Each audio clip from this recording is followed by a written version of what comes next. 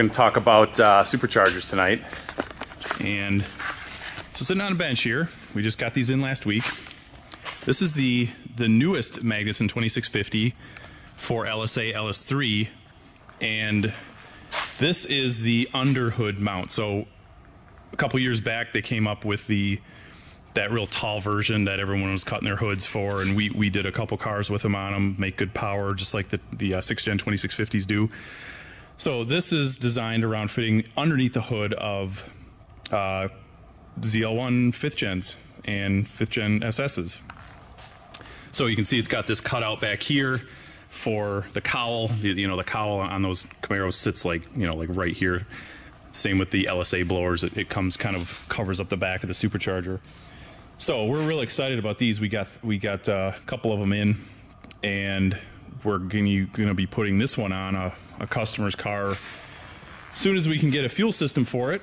Um, he's kind of been waiting for the next stage on this thing, and it's a car I had on uh, my channel. If you watch my channel, I had a dyno video on it oh, a couple months back. Um, car came in, it was for sale. One of our good customers bought it, and he's been racing it all summer, and he's ready for the next step.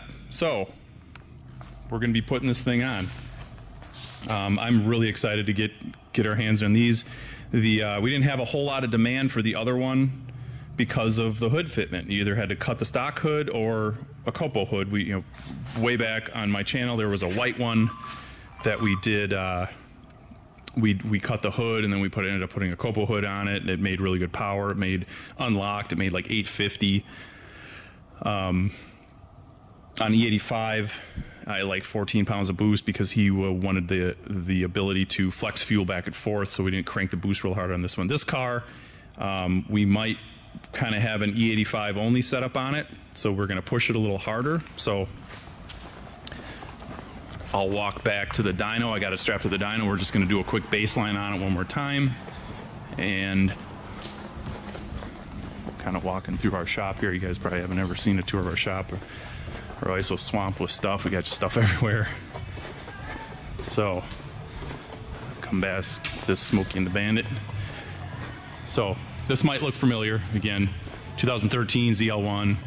This car has our kind of our it's our stage two package. So um, this is kind of our basic stage two package for fifth gen ZL1 LSA cars. Um, our stage one cam. Um, basically, the stage two package consists of us getting into the engine, a camshaft and um, valve train upgrades. So headers, it's got two inch headers on it. American Racing Nickey Edition headers. Uh, upper and lower pulleys, uh, 255 upper, 91 lower, I think 917 lower. This has a CAI cold air box on it. Um, this is pump gas. Nothing real crazy about this. This still has a stock inlet, stock throttle body. Um, this is kind of our basic camshaft upgrade. So just our small cam Nothing crazy with the inlet, no five inch intake, um, no big throttle body, no supercharger porting, no heat exchanger. Um, and I think this car made 670-ish before. Again, I'm gonna run it, I'll, we'll do a pull right here right now. It does have a, a tank on it just to add some capacity, but it still has the stock heat exchanger on it. So with that big supercharger, we're gonna upgrade to a Katech 103 throttle body and a big gulp Roto-Fab five inch cold air. Um, we're gonna we're gonna do a Fore triple pump uh, in tank setup. So take stock fuel pump out, stock fuel pump basket and everything out. Put one of Fore Innovations triple pump hangers in there, triple 450s. Um, the, the 274 pump's good for E85. We're gonna put our 1200 injectors in it, flex fuel sensor, and um, obviously, we'll run it back on the dyno. So um, everything else is going to stay in place. Our stage one cam, the headers, uh, uh everything there is going to stay in place. That stuff is all good for big power. So, um, so yeah, that's that's kind of where we're going with this one. This car, as it sits right here, has run a best of 1043, 1045, something like that. Um, in decent DA, I think that was 1200. He, he's been back at the track in you know 3000 DA. It's a 1050 some car. Maybe I think it was like 1058, 1055. 10, he ran a bunch of 1050s with it when the DA was meh summer, you know, humid humid DA stuff. So. Um, and he does a lot of screwing around in the street with it and stuff too. He has a ton of fun with it. So, um, so yeah, again, he's ready for that next level. And again, you can port the LSA blowers; they work really good. And um, but this car doesn't have ported heads. Um, we just feel like that that 2650 is the next logical step for this particular car, and he runs a drag pack on it. I got the 2010 um, 2010 rims with just some Dookie Pirelli tires on there for the dyno because he, he runs a Mickey Thompson R and those things just get crazy chewed up in the dyno. So let's jump in here. Let's make a pull on it. We're just going to do a quick pull on it. Make sure that everything still looks good from a power standpoint. We always do this on all of our builds. Even if it's a known car and we know it runs good, we always just want to get a baseline. So when we you know, it basically goes from the dyno here, it's gonna go under the knife, we're gonna pull everything apart, and when we go back with the new supercharger on the dyno, we're basically apples to apples comparison. We got no variables with, you know, time of year, weather, or anything crazy like that. So I, I drove this car around the block, warmed it up a little bit before I strapped it down. So I'm pretty warm right now. I'm gonna get it spun up here and uh,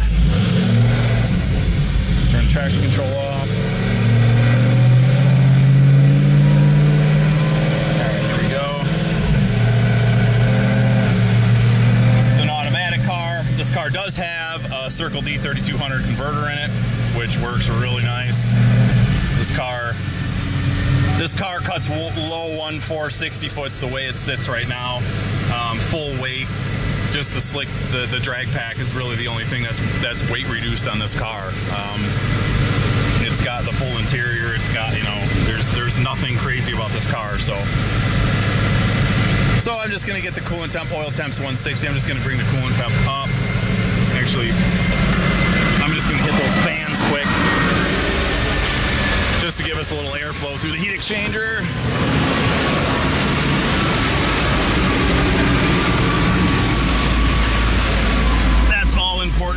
These LSAs, of course.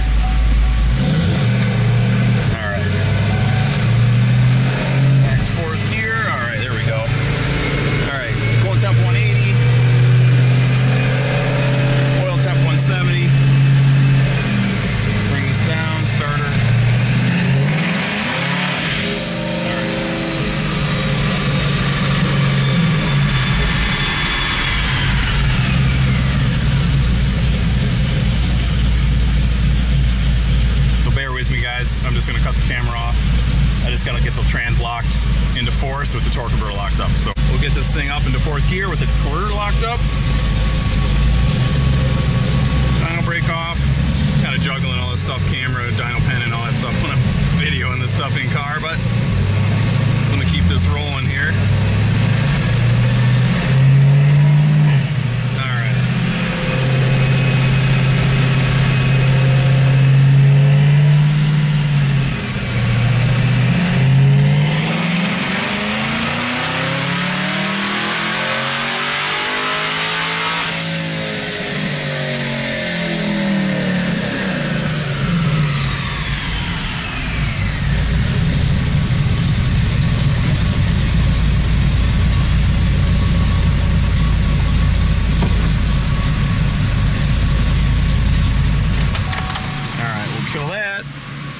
You can see where we get the power numbers.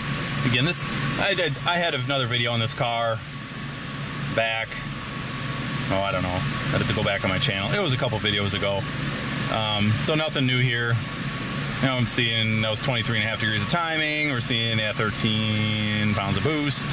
So knock sensors were quiet. Look, everything looking good on the tune and the engine. Looks like the power was about where we expected.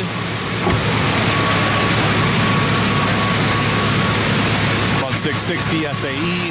That was definitely not anything cold or anything. The IATs were like 120 for the IAT2s. So that's our baseline for this car with this package.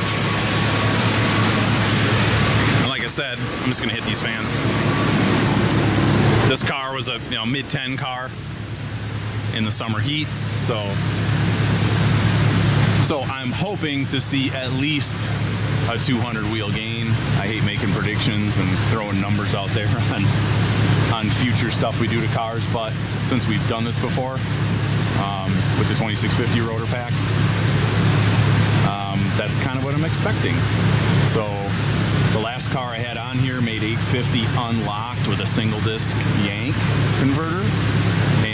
This is a triple disc Circle D, so I can lock this converter. So um, the other car did have ported heads and our stage two cam. So that is worth definitely worth some power over just our stage one cam stock head deal. But um, we might push the boost a little further on this one than the other car. So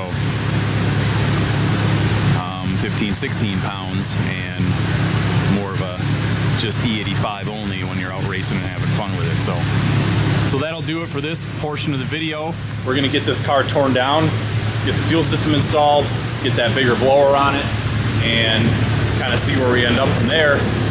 Um, so stay tuned.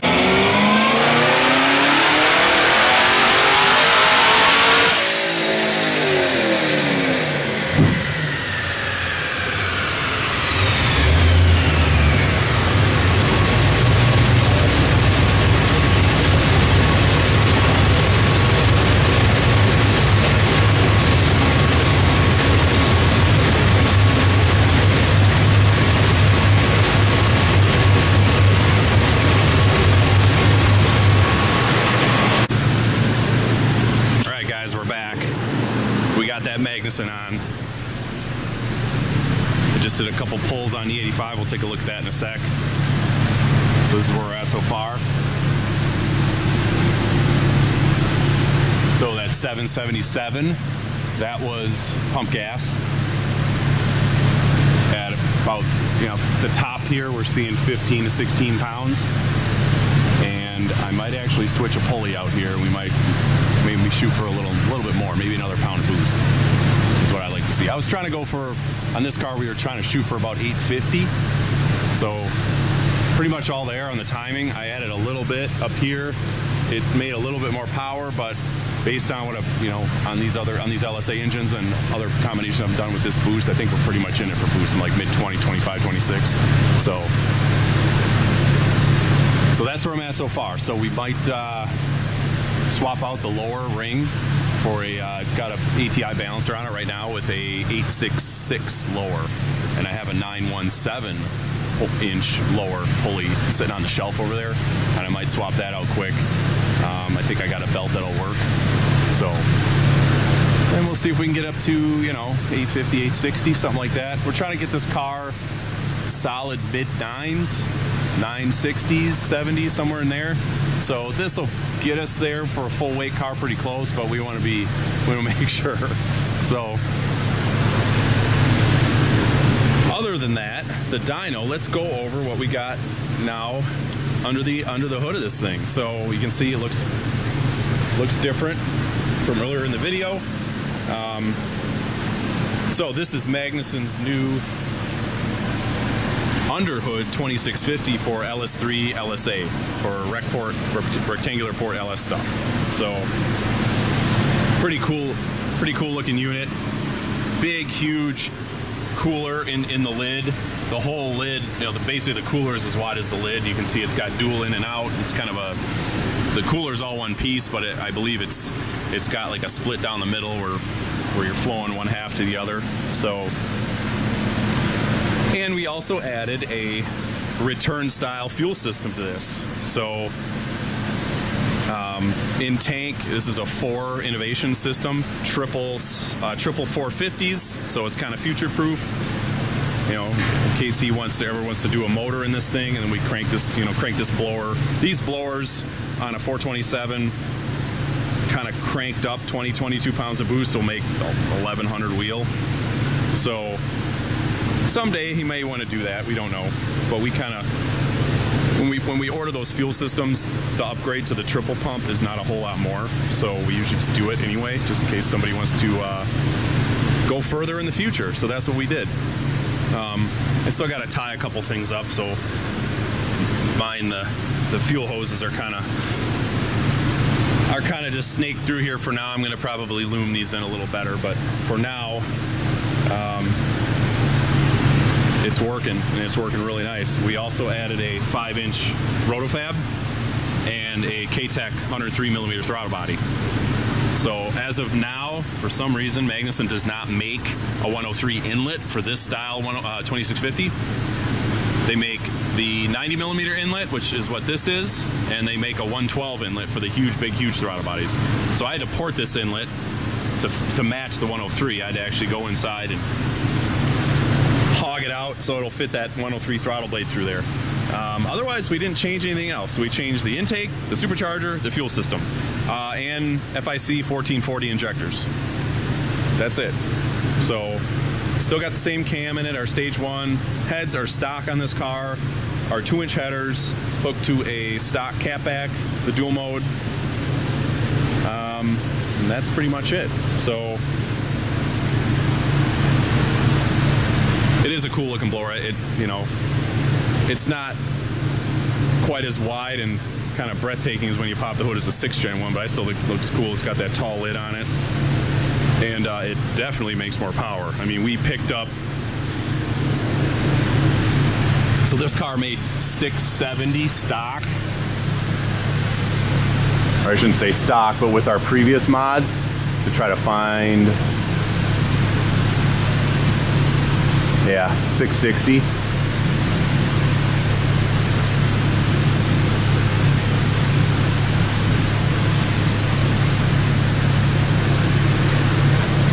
I know that's that's gas to E85, but still, that's just to give you an idea where we're going, where we're headed so far.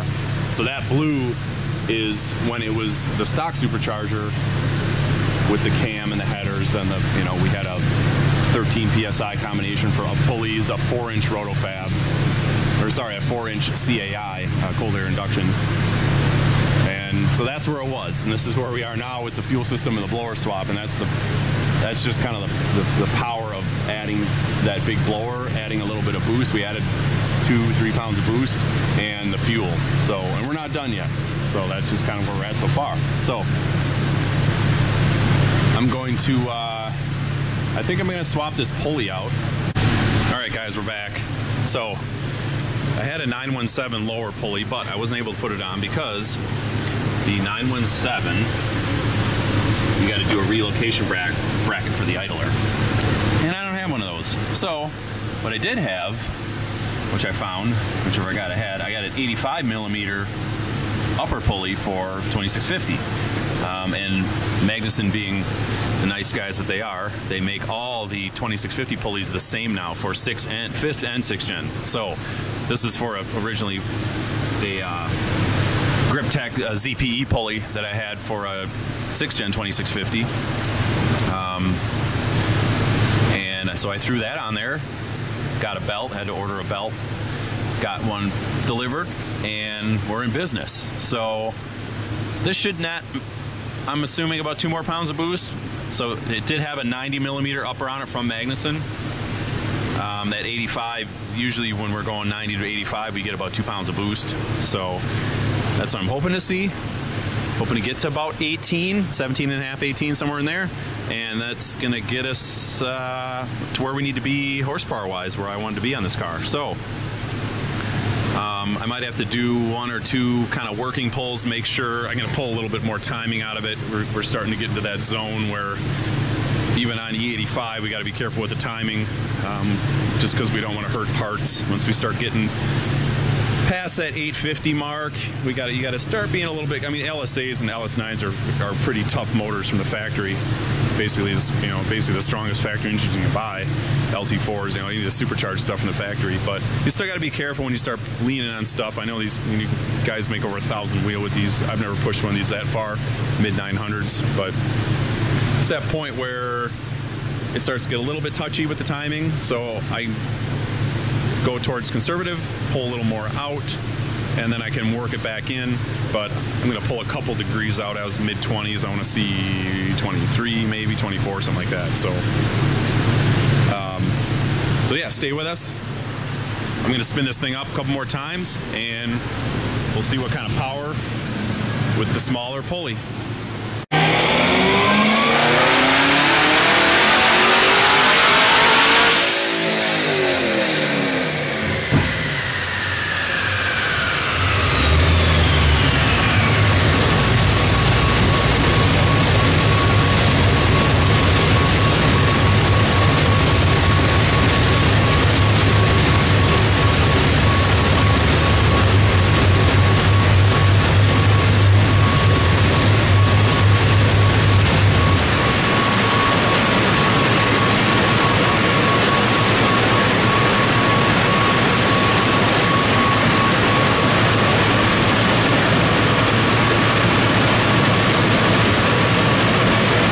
All right, guys. Looks like we just got to where I wanted to be. So I did do a couple pulls before this one off camera. Um, I, I took those back down just because they were working runs just to make sure the fueling and timing was, was good. But there's our final. I'm going to leave it at that 851. And that's that 837 is that last pull we did on that 90 millimeter pulley. So so that's uh, that's looking pretty good. I think it would have made a little bit more if I would have taken it up a little further, but I'm starting to see the boost really kind of take off up above 68, 6900, and we're just hitting the limit of probably a bunch of stuff. Well, I shouldn't say a bunch of stuff. I think we're hitting the limit of our smaller cam for sure. And this car does still have the stock catback system on it, which is two and a half ish diameter stuff. And this car really should have a dual three inch with a with a three inch X pipe on it. We're at that. We're definitely beyond that. Anything beyond like 750, 800 wheel, a 300, uh, a dual three inch exhaust really benefit. So we're really pushing the limits of stock exhaust. So I'm happy with that. This is going to be a, a solid you know, this should get us mid nines with this car at, at basically full weight. We got a rear seat delete going in it, and he he runs around on slicks and skinnies. Otherwise, the car's got AC, it's got the stock front seats, it's still got all the, all the stock suspension, the sway bar. Um, there's nothing crazy about this car as far as being it being a race car. It's still got all the creature comforts of a ZL1. So, so we can kind of go back through here. Know this video is a little longer and so what we can do is how this is how the car came in. So that is with the stock blower, our stage one cam, a, a CAI cold air, a ported throttle body, two inch headers, and basically a thermostat. I got to try to remember here how I did this, but.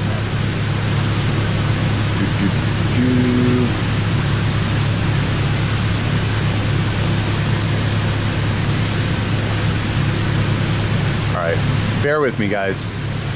I got to try to remember which runs were which. Just so I want to get all this stuff up. That was some of my working runs on E85. Okay, there it is. So, how it came in. Oh boy. So the 777, that is pump gas. Okay, again, that was pump gas which is the supercharger swap. So that was the supercharger, the big throttle body, and the five inch cold air on pump gas. That's where we were there at 16 pounds of boost. So then we went to the 85 and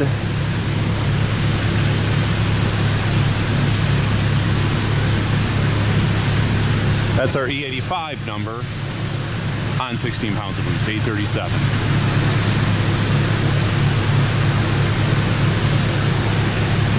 And it really is an E85. It's like E65 right now.